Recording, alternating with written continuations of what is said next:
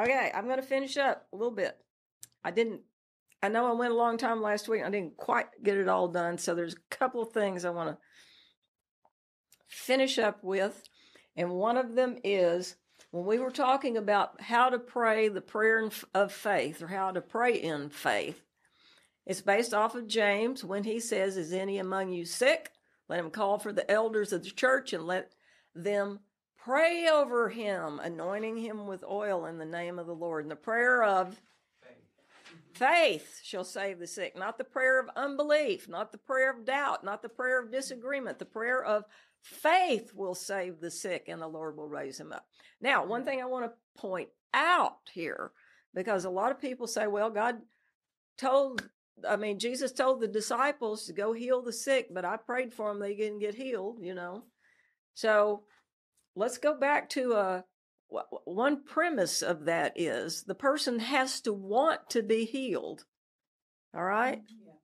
So we can all think it's a good idea to go pray for so and so, but did they call? Because the very mm-hmm. first thing says, "Let him call. Let him or her call. Let them ask. If they ain't asking for you to pray for them, then you're wasting your words most of the time. Because if they ain't asking, they may not want or believe in it. It's better to give them the word and build them up in the word and let them understand about the prayer of faith. Let them understand about healing. And then they say, you know what? I think if you pray for me, I'll be healed, right? Uh, another portion of that scripture is let them call for the elders of the church. And I talked about, you know, they have to be in agreement, right? Mm-hmm. They have to be in faith.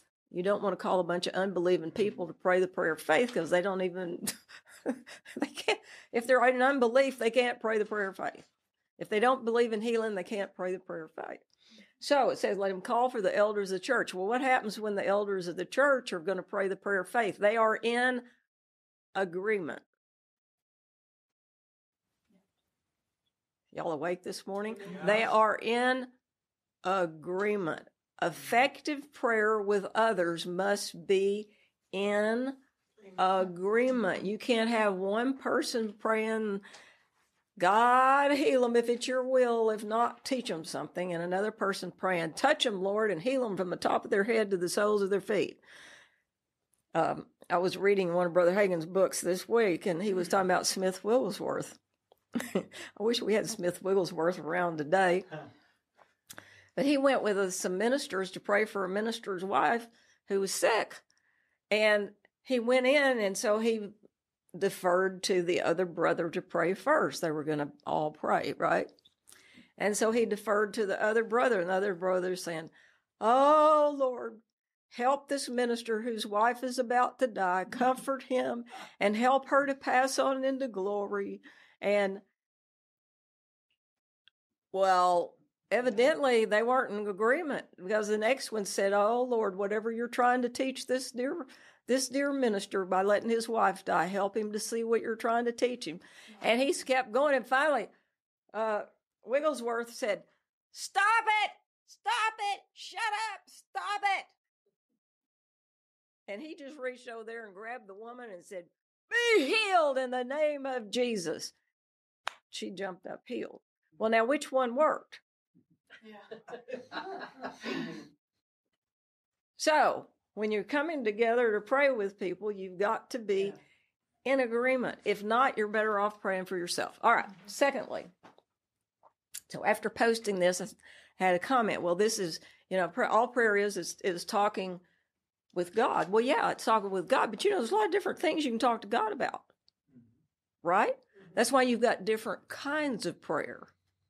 And so there are different ways to pray and different kinds of prayer. And if you are all I've got to say to you is if you are doing well with your prayer life, your prayers are being answered, you're seeing the fruit of it, then glory to God, I'm with you, right? Mm-hmm. But there may be some people out there that don't understand that if they don't believe God hears them and don't know what God's will is, then their praying is just around here.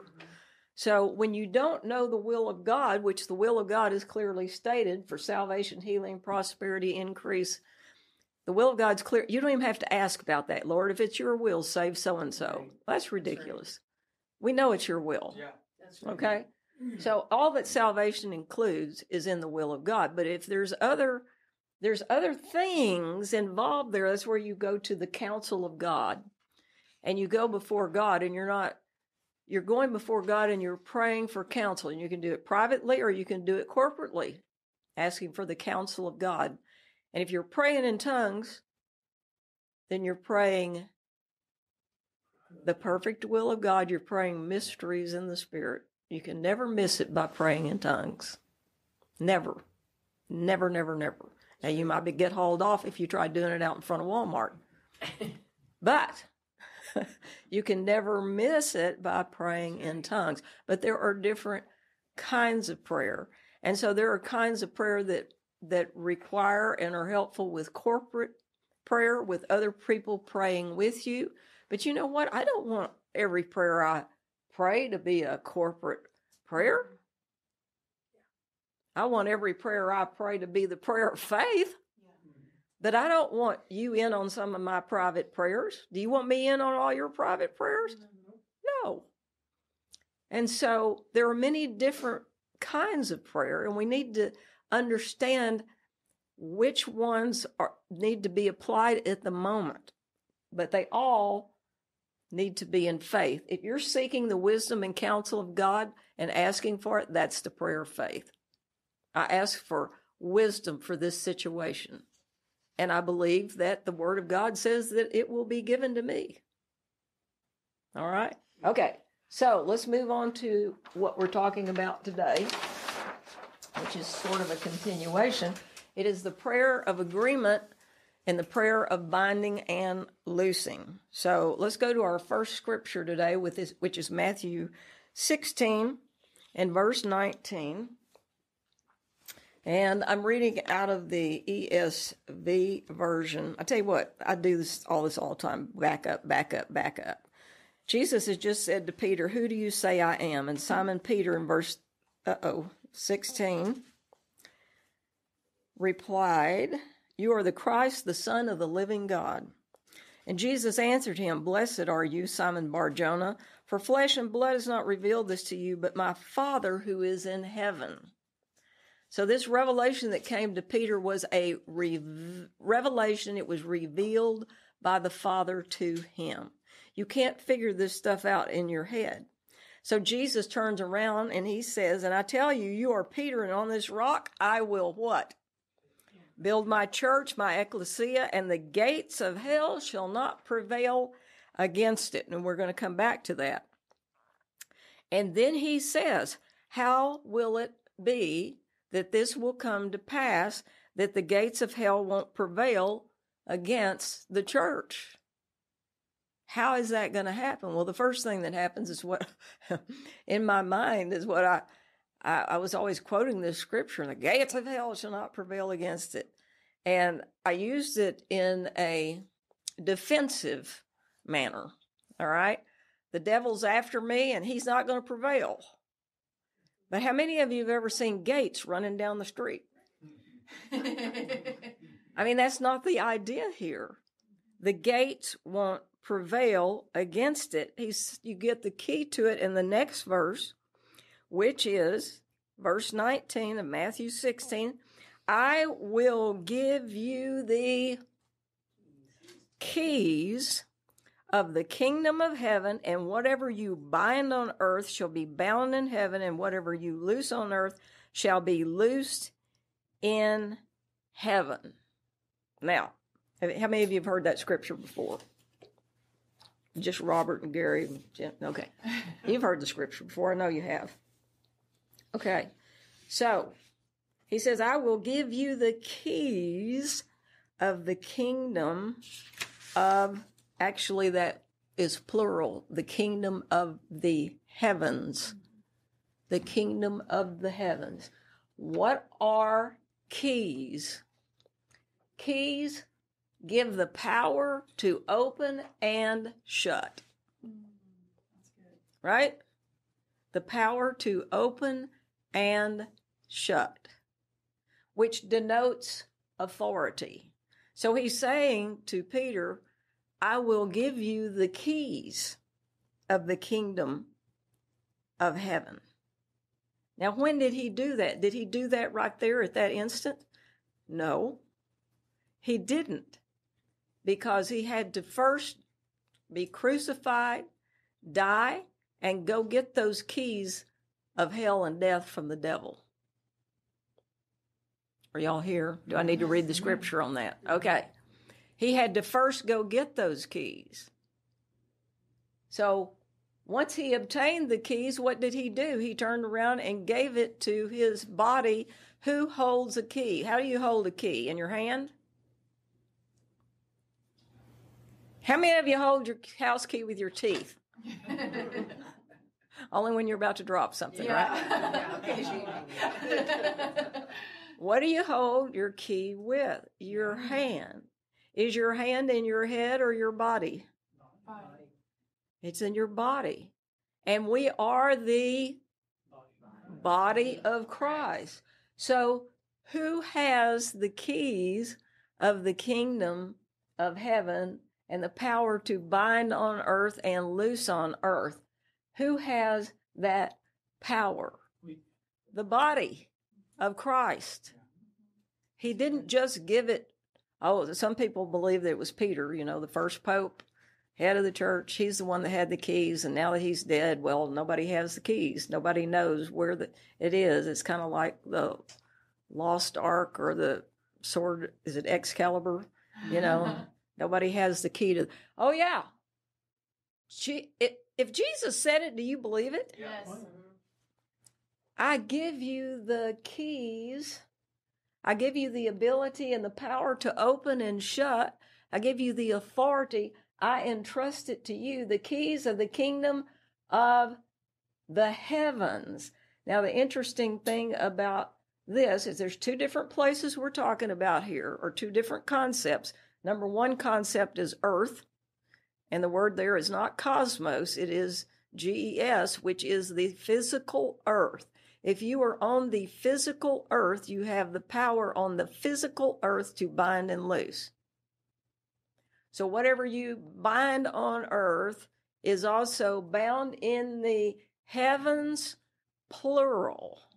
What does that mean? Heavens, plural. Okay, so as I'm studying this, I, I, mean, I could go off on so many little dog trails and stuff because I, I want to know about everything. You know, when I go, what does that mean? And I always found something fantastic. So it says here, the heavens being plural, it says it is used nearly. Now, this is, uh, I got this out of uh, one of my study I think it's Bible, one Bible Gateway. It's another one of them. But anyway, it says from um, a quote from a man very versed in the scriptures and in the Greek, it says that the plural is nearly as often used in the plural heavens, the singular and plural, heaven and heavens, have distinct overtones and therefore should be distinguished in translation, though unfortunately they rarely are. What does that mean? That means as they breezed through and interpreted it, they most of the time just said heaven. Well, heaven is heaven. Because our concept of heaven is it's someplace far off and you know, so we just have that mentality. And yet this is untrue. There are more than one heavens and so when it says the heavens, we know specifically of at least three heavens. In which of them is God present? Well, I believe oh. God's present in all of them, don't you? Mm-hmm. Okay, so here he's saying you have the power on earth because whatever is bound on earth is bound in the heavens, and the keys are to a gate. What is a gate? A gate is a portal, right? Everybody know what a portal means? It's a way to go through. Okay? So here on earth, the keys of the kingdom that Jesus gave us was a portal right up through all the heavens. It didn't say one, two, and three. It said all the heavens. How many heavens are there? We know there's three for sure. There's a some kind of idea there's seven. Have you ever heard to say, oh, they were in seventh heaven? You ever heard somebody say that? So there's some kind of concept that there's seven heavens. I don't know exactly because the scripture doesn't say one, two, three, four, five, six, seven. But the scripture definitely says one, two, three. It says three, and there's one, so there has to be a two in between, right? Everybody go one, two, three. All right. So these keys that you have right here of the kingdom open a portal through the first heaven, the second heaven, and into the third heaven for certain. So, what does that mean? Whatever you bind on earth will be bound in heaven. Whatever you loose on earth and loose in heaven. Let's go up to Matthew 8. Now, this, notice Jesus has said this more than once. This must have been important. You getting that idea? This must have been something important here. Verse 18 Truly, I say to you, whatever you bind on earth shall be bound in heaven, whatever you loose on earth shall be loosed in heaven. And I'm going to stop there and not get into the agreement part yet. Whatever you bind on earth shall be bound in heaven. What does that mean? Well, easily it means that whatever you bind here on this earth means that it goes all the way up to the heavenly level and is legally enforceable by heaven.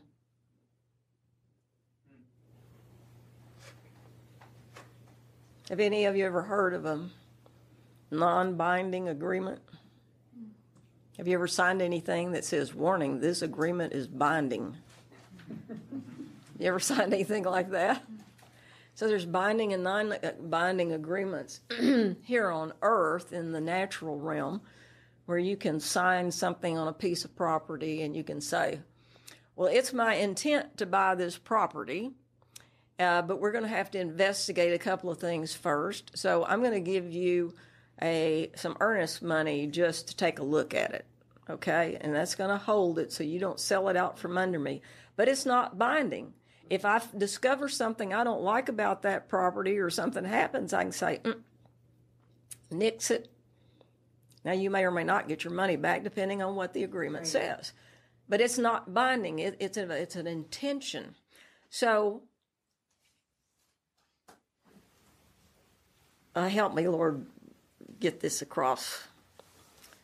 So, a lot of times you can say things here on earth that are non binding. For instance, binding agreement, which heaven recognizes totally, is the marriage agreement, the marriage contract, the marriage covenant. It is a binding agreement. And this is how this word binding is used throughout the New Testament is it's talking about something that is legally enforceable. The difference between excuse me, a non-binding agreement and a binding agreement is the binding agreement is legally enforceable. You can go to court and they go, "Yep. I see it's written up right. You two agreed to it, so therefore it's legally enforceable." And the person that backs out doesn't make the payment like on the mortgage on your house. Mm-hmm then they can go before the court and say, We're foreclosing on this property because they didn't make their payment. They didn't meet the terms of the agreement. Okay? So it goes before the court. And so that's a binding agreement that can be enforced legally. Well, guess what? God is a God of laws. They're spiritual laws, but they're laws. And a lot of people don't understand the point here that when Jesus uh, is talking and when Paul is talking, he says, he says, "Are you loosed from a wife? Don't seek a life. Wife, are you bound to a wife? Don't seek to be loosed." So he used that term, bound and loosed, in reference to the legal marriage covenant. And so when a person makes a vow or a covenant here on earth, and has the is holding the keys of the kingdom How many of you are doing that? You have the keys of the kingdom. You're born again, filled with the mm-hmm. Spirit. The Spirit of God dwells in you. Jesus is in you. So when covenants are made here on earth, they are legally enforceable by heaven. That's why divorce is such a big deal. It's not like you didn't make your house payment and you went before the court and they took your house. That's terrible. You know, they took your house. This really is awful. A lot of people lose their properties over things. But a covenant and an agreement between two people on earth not only stands on earth, it stands legally enforceable in heaven. So, in, or, in order to loose that, the two people who agreed have to agree to loose. And what does the word loose mean? I think we always pictured the binding and loosing being bound by chains or, you know, something like that. But it actually means legally enforceable, and loose means to annul or dissolve. So you decide to dissolve that covenant of marriage. It takes agreement between two people, and that goes all the way up to this realm. And I know that there are some churches that believe that that you're always married in the sight of God. There are uh, different religions that interpret this, but as far as says, whatever you bind or loose on earth is also loosed in heaven. So the things that you're doing here on earth, you think, oh, well, it's when we get to heaven, da, da, da, da, da. What you're doing here on earth is being recorded in heaven. And the courts of heaven are seeing what you're doing. So, anyway, uh, marriage and divorce was just the easiest way to talk about the power of binding and loosing. All right, let's go to the two of you agree in, where was I? Matthew chapter 18. This keeps slipping down. I don't know if I'm hitting it or what. Okay, he says, Whatever you bind on earth will be bound in heaven. Whatever you loose on earth will be loosed in heaven. In other words, Let's move on. I don't want to get sidetracked here. Again, he says in verse 19, this is a continuation. He didn't say verse 19. he said, Whatever you bind on earth shall be bound in heaven. Whatever you loose on earth will be loosed in heaven. Again, again, again, again, I say to you, if two of you agree on earth about anything they ask, it will be done for them by my Father in heaven. If two of you agree on earth about anything they ask, two of you agree. What does the word agree mean? It's very interesting. The word agree is the Greek word S Y M P H O N E O, sum, if ne, soon. I can't read my writing. okay. Anybody ever heard of a symphony? Yeah. That's where that word comes from. Mm-hmm. If you, any two of you symphonize, symphonize, it comes from the root words S Y N, which means with, and P H O N E, which means voice. With voice. In other words, if any two of you on earth say the same thing, be careful what you get people to agree with you on. That's good. Say the same thing. How many people do you think are saying the same thing about a political situation in the earth? today? How many people do you think? Symphonize say the same thing. Well, I don't know. The people that are not believers are not believers, then they don't have the keys of the kingdom. So, where, what direction is is uh, is theirs going? And what? See, look, take a look at this. Just think about this what what are people where from where are people being inspired to speak and symphonize and agree there is the inspiration of the kingdom of heavens and there is the inspiration of the kingdom of hell. So, you add your power, your legal agreement, and you file your documents in the courts of heaven to be filled here, or you file your documents in the courts of hell. And what do you think theirs is like? I don't really think it's that organized, other than it's destruction. So when you're speaking words of destruction, you're speaking from the wrong place, right? Mm-hmm. Okay, so let's back up, take a look at it again. I give you the keys of the kingdom of heaven, the power to open and shut the kingdom of the heavens. Does God have the keys of the did God let's say it this way. Did Jesus have the keys here when he said this? No, he didn't. But after he died and he was taken here, he took these keys, he handed it to us, and now we have the keys through the portals of heaven, and we have the keys here also. Why? Because it says the gates of hell will not prevail against the church. Because you can take these keys of the kingdom and you can release people's lives from the pit of hell. You can release people from the pit of darkness. You can prevail you can, Jesus said, Jesus raised people from the dead, the keys of death and hell. Amen. I know. Wrapping your mind around this is a challenge, but don't listen to your head, listen to your spirit. Listen to your spirit, listen to your heart, what God is saying to you. Just as Jesus was victorious and he came forth from death, hell, the grave, and was resurrected. And he gave us the keys. Did he give us a different set of keys? No. He gave us the keys that he obtained. Adam, right here, in Genesis, handed over the keys that he was given to this earth and his access to heaven, and he handed it over to the devil, to the ser- serpent. He gave his dominion and his power. He gave what he had over to Satan. And then Satan, it says, became the God of this world. So now who has the keys? He did.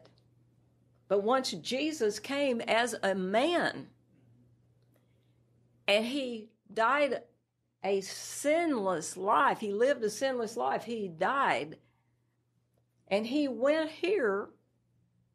He was held illegally and he took the keys of hell and death. And when you read the book of Revelation, what does it says? He comes in and he has the keys of hell and death. Does, has anybody read that in the book of Revelation? Oh, has the keys of hell and death. And where does he hold it?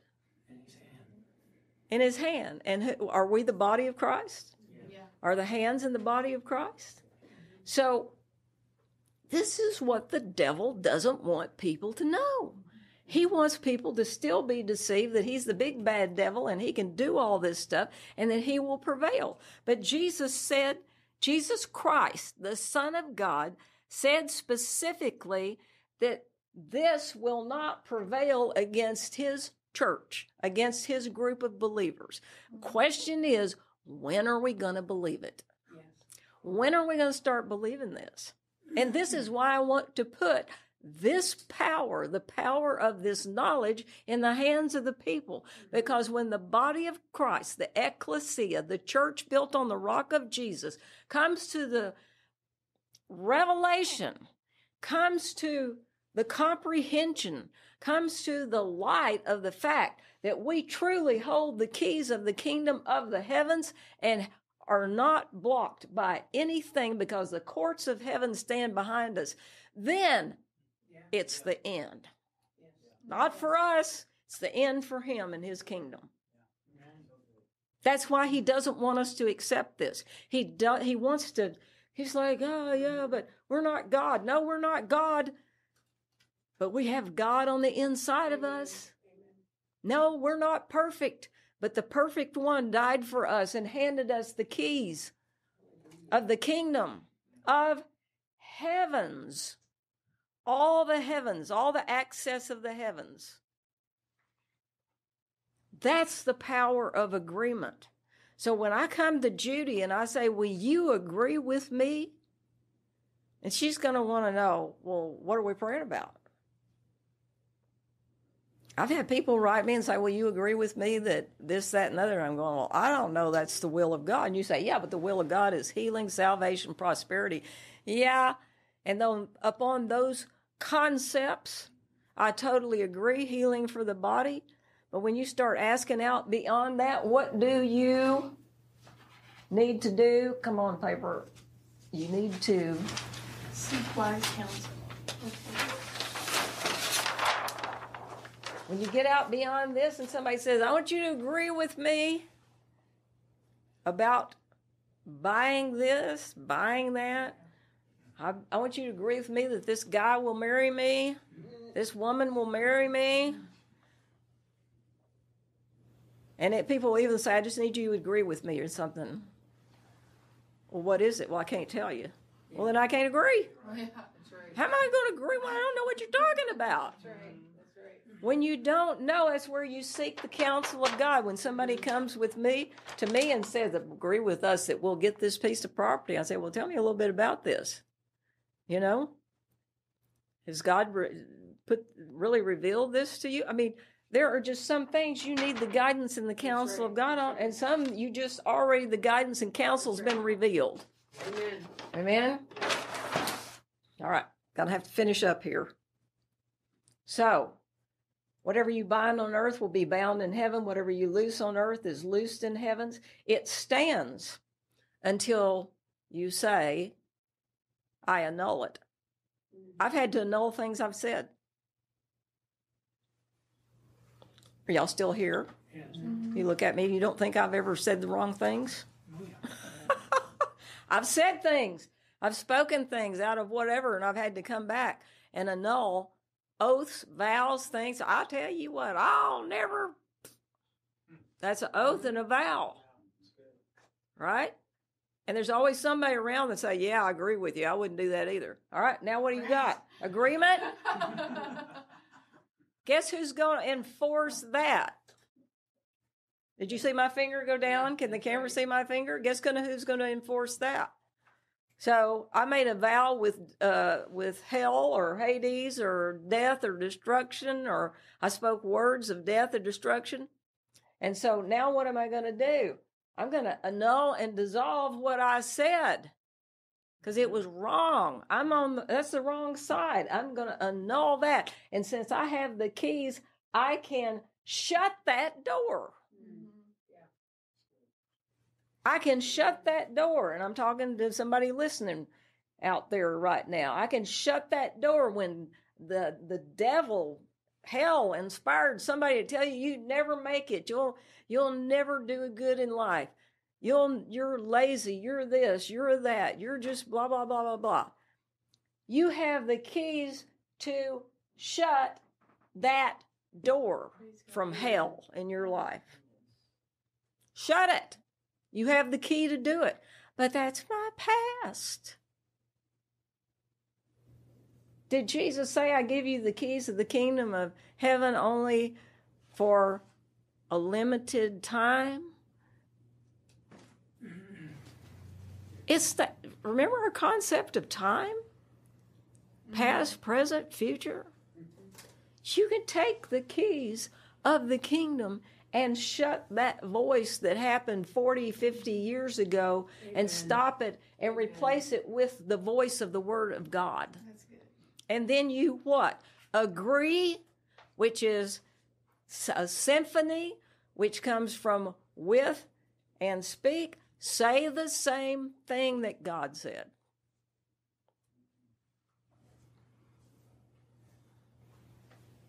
When you say what Jesus said about you when he was here on earth and he gave us this word, when you say that, when you pick up this little book on God's creative power for healing, this is these things are what God said. This is my dad quoting what God said and telling you how you can agree with what God said. You set yourself in agreement with the Word. And when you set yourself in agreement with the Word, do you think God agrees with you? Yes. Well, He's already said it. And so you you get into a symphony with God of what He said about you. What did He say? I'm healed. Mm-hmm. You don't understand. I'm sick. I feel bad. He said you're healed. But I don't feel good. But he said you're healed. Oh, but my head hurts. But he said you're healed. Oh, but I don't know. I just I prayed and it didn't happen. But he said you're healed. At what point are you going to rise up and say, He said I'm healed, so I am healed? Symptoms dissipate, go away. Body, get in line with the word. I talked right. last week about my immune system. That's when I directed to my immune system. Get in line with the word. Thank you, Lord. The wisdom of God.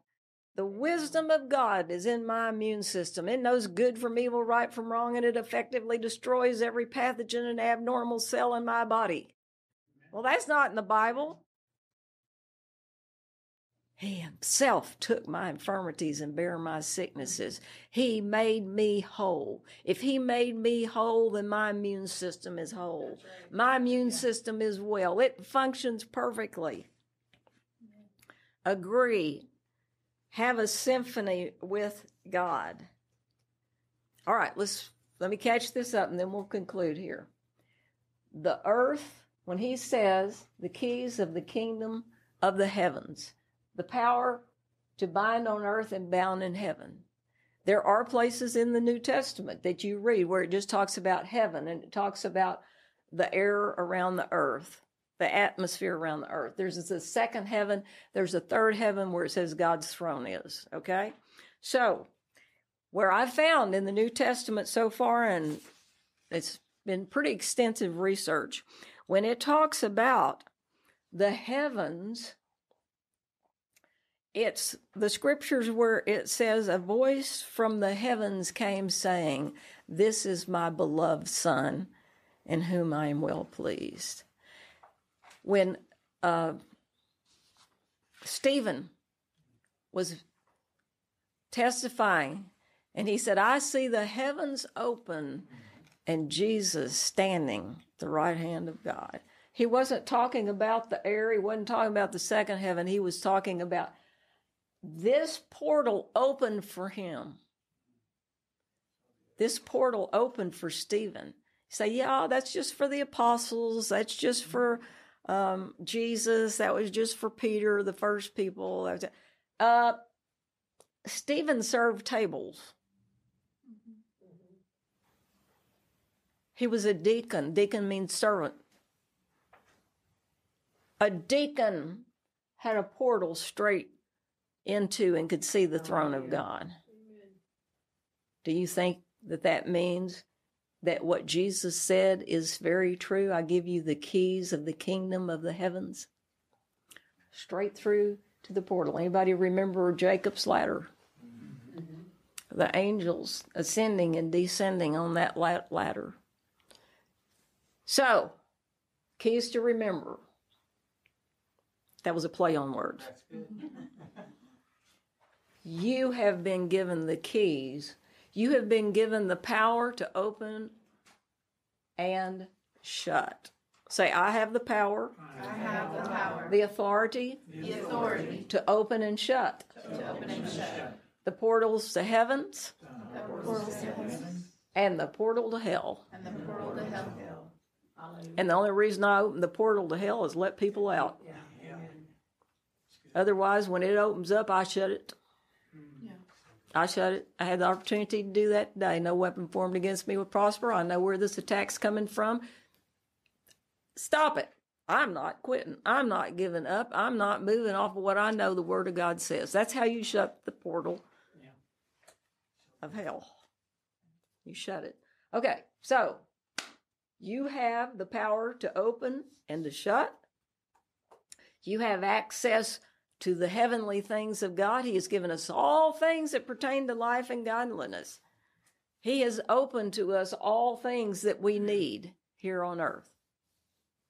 We also have the power to declare things to be unlawful and prohibit. So when I go to Judy, I say, I want you to agree with me. I'm going to pray right now. And here's what I'm going to pray about. And I tell her I'm praying to, let's say, uh, shut the, uh, stop the attack of the enemy against a certain person or whatever. All right. And I tell her what it is. Well, she knows that's the will of God, right, Judy? Right. So we pray, I pray, and we finish, we say amen. And we have just established it here, right here. We've done it. We agree. We're in harmony. And if we need to dissolve something, then we dissolve it to annul it. There are times when things have to be annulled, and can't get into that at this moment, but there is the power of binding things and loosing things. And okay, quickly, quickly, quickly. You remember Paul, the church of Corinth? He says, You got a problem with somebody in your midst when you come together with my spirit. I'm not there.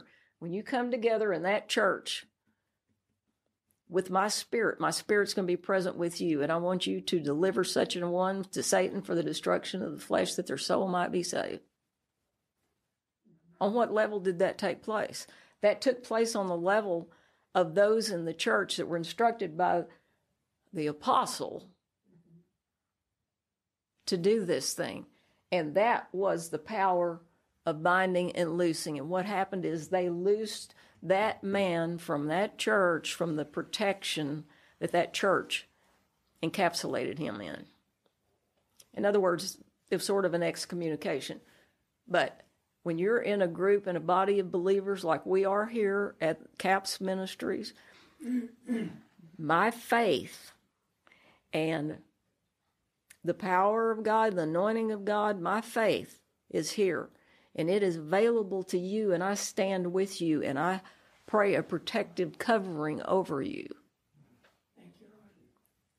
And so Paul did the same thing with this church, but it came to a point that this man was rebellious and he wouldn't do what he was told, and he was causing problems in the church, the, the sins that he committed. And Paul said, I want you to loose him. Take him out of the protective covering and loose him, deliver him to Satan. He's already living for the devil, let the devil have him. And so when they did that, then they they weren't rude to him. It, the Bible says, "Let them be as a heathen and a publican." That you don't mean the heathens and publicans. You just don't bring them in the church, set them on the front row, and acknowledge them, and tell people to vote for them. Amen. But you love them, right? And so the man eventually repented and was restored to the church. So, anyway, I don't know how I got off on that. I just did. So, the things to what are the things to remember? Somebody say it. Keys. Keys, binding and loosing, and agreement.